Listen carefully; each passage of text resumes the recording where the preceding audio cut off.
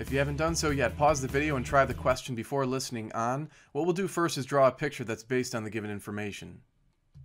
Now the idea in this problem is to find the largest possible area of a rectangle that is basically encased by this right triangle. We can kind of get a sense of what the question is asking us if we slide this point on the rectangle up and down, so to speak, along the triangle here. We're looking for the maximum area of a rectangle that fits inside of this triangle. So why don't we just arbitrarily leave the rectangles, say, right here.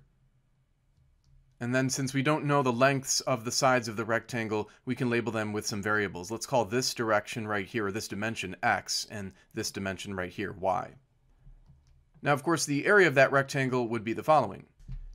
And in order to maximize the area of this rectangle, we're going to want to try to get the equation in terms of just a single variable. Right now, you can see we have two variables, x and y. We want the equation to be in terms of just one variable, so that's our next challenge what we'll want to do first is come up with a label for the length of this side right here. We'll see why in just a moment. But of course, if the entire length of this side here is 3, that's the large triangle side, and this length right here, the side of the rectangle, is y, that would make this length here 3 minus y. So we can go ahead and label that. Now, of course, this side of the rectangle is also x. And the question is, why did we do that? Well, let's focus our attention on this upper triangle here for just a second. And what we'll notice is that this blue triangle is going to be similar to the larger triangle. And to get a better appreciation of that, why don't we redraw the larger triangle? So again, the blue triangle is similar to this large triangle here, and thus, because they're similar, we can write a proportion. We can say that this side, this 3 minus y, is to x as this side, 3, is to 4. So let's write that proportion right over here. What we'll do next is solve this equation for y so that we can substitute into our original equation. So to solve this, we'll have to first cross multiply. We'll then divide both sides by 4.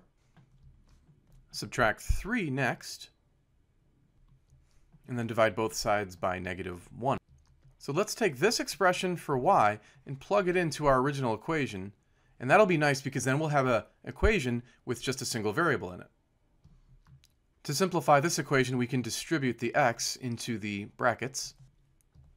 And then, since we're trying to find the largest rectangle, we're trying to optimize, in other words, we're going to have to take the derivative of both sides of this equation. The derivative of the area we can symbolize as just a prime. The derivative of the right side will incorporate just a few basic rules. We'll use the power rule to drag this exponent down and multiply by the coefficient, so that'll give us negative 6 fourths. x, we'll subtract 1 from the exponent to just give us x to the first. And then the derivative of 3x, of course, is just 3. Next, we're going to have to set this equation equal to 0. Maybe we could subtract 3 from both sides. Let's multiply both sides by 4. And then divide by negative 6. And we get x equals 2. Now, technically, in order to ensure that this is a largest rectangle, we'll have to do the first derivative test to make sure that this value of x is indeed producing a maximum value for the area. So let's do the first derivative test. And we can do that by plotting 2 on a number line. What we'll do is we'll choose a value less than 2, such as 1, and a value greater than 2, such as 3, and we'll plug them into the first derivative. Let's bring the first derivative back into the picture here just as a reminder. Now, if we plug 1 into the first derivative, we get a positive result. So we can say that the derivative is positive all the way up to 2. And when the derivative is positive, the function is increasing, of course. Now, we can also plug 3 into the first derivative, and when we do so, we see the derivative is negative for all values beyond 2. So when the derivative is negative, that means the function is decreasing. So therefore, right at x equals 2, we can see that we've achieved a maximum value for the area. So we know indeed at x equals 2, the area is the largest possible value. Now the question said to actually find that area. So let's go ahead and take x equals 2 and plug it into the area formula. Recall that the area of the rectangle was given by this formula here, so all we'll do is plug 2 in. And when we do that, we get a result of 3. Now, since the measurements were in centimeters, the area would be in centimeters squared. And that is indeed the correct answer.